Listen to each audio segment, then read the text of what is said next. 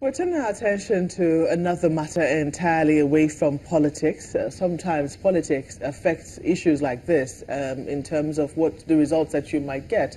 Uh, but then we also have a situation on the ground. And uh, today is World Refugees Day. June 20th every year is marked as World Refugees Day. And to discuss the issues around the refugee situation around the world, and particularly as it affects Nigeria, we have with us Mrs. Bridget Mukanga Eno, who is the UNHCR representative here in deputy representative here deputy in Nigeria. Yeah. You're welcome to Sunrise Daily. Uh, thank you so much, Maupe.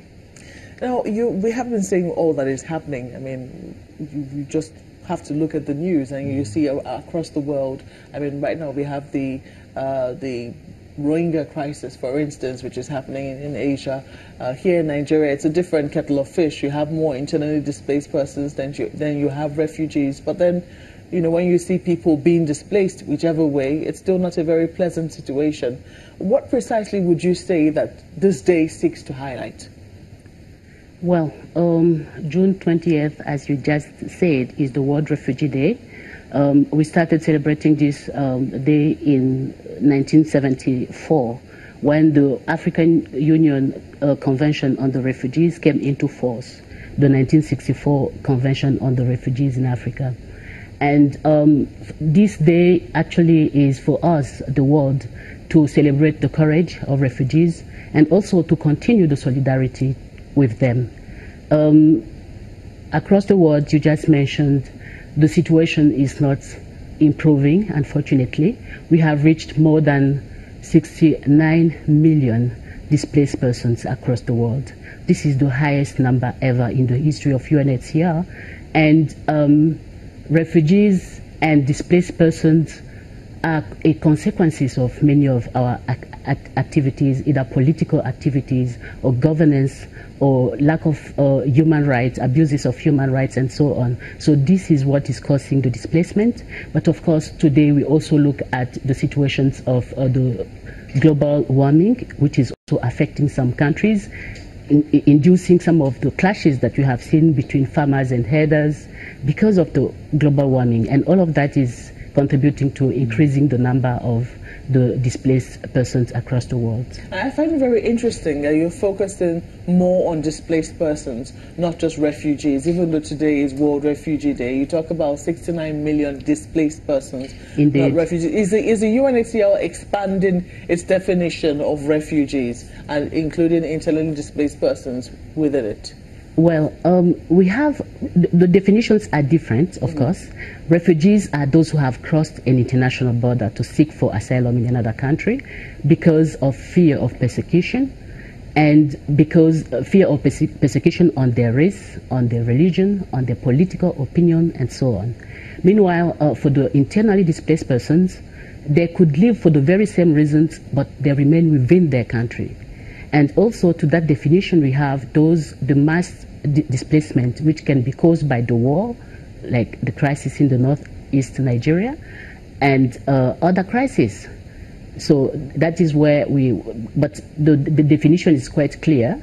Uh, there, there, are similar populations, but the difference is that one category has crossed the border while the other one has not crossed the border. Now, the point I'm trying to make is, is the UNHCR expanding its mandate to also cater well, IDPs? No, the mandate has been expanded for the entire humanitarian community. Uh, normally, IDPs are within the primary responsibility of a, their own government. But because of the uh, unfortunate situation in which they are, some countries could not cater for their own IDPs and they sought support from international community. That is why uh, since 2005, within the reform of the UN, global reform of the UN, some responsibilities were given to various agencies. And for UNHCR, we provide protection for IDPs, the shelter component, the camp management of ID camps, in uh, any conflict situation. So these are three areas of responsibilities where UNHCR comes in. Meanwhile, other agencies come also with their various uh, uh, responsibilities, such as uh, UNICEF for the children, of course. Uh, we have WFP for food, uh, FAO for...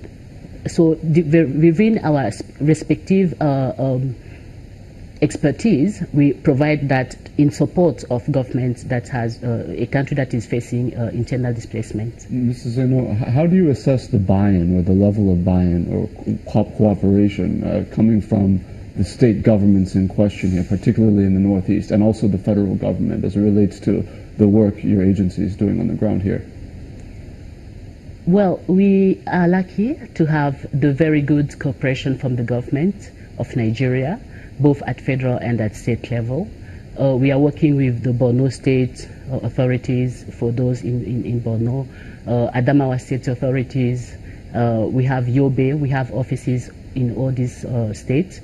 Of course, uh, we also are working in the south um, of Nigeria with the situation of Cameroonian refugees. Mm-hmm. So we, we are cooperating with the Cross River, Akwa Ibom, um, Taraba State for, for the Cameroonian refugees. But also we have Lagos State where we have urban refugees and uh, Ogun State where we have been having for very many years uh, the Liberian and Sierra Leoneans who were evacuated to Nigeria during the ECO, ECOMOG deployment in those countries and uh, Nigerian, the refugees who were brought in Lagos State and Ogun State, Ijebu-Ode, they have been very well integrated by the government. What have the challenges been, though? I mean, shortfalls. Are there any shortfalls in terms of funding or in terms of strategy or in terms of synergy? Uh, what are the challenges you're facing? Well, the, the, the, main challenge is, first of all, the, the, the large number of IDPs that we are having. We are talking here of more than 1.8 million displaced persons in the northeast Nigeria. That alone can represent any of the country, countries of, in Africa. Botswana is 2 million people. Uh, if you look at Gabon, is 1 million people. But here we are talking of 1.8 million. It's basically a, a small country to deal with. So it's a huge displacement. And behind these numbers, you have people. Behind every IDP is a story on how they fled their, their place of origin, how they intend to, to go back to those places, how they can continue sending their children to school, and so on. So there are a number of challenges or situations that need to be addressed with the, the displacement in the Northeast. The second challenge is, of course, the security situation. Um, there are many areas where we cannot even access the displaced persons. Um, we, we, we, we are happy that the federal government and the military have done a lot in recovering a number of LGAs that were under the control of the insurgency. But some of these LGAs are still inaccessible because the places have been polluted, but at the same time, um, there's no there's no deployment yet of civil servants in some of those areas. So even when the IDPs would like to go back to those places, there are no basic services for them.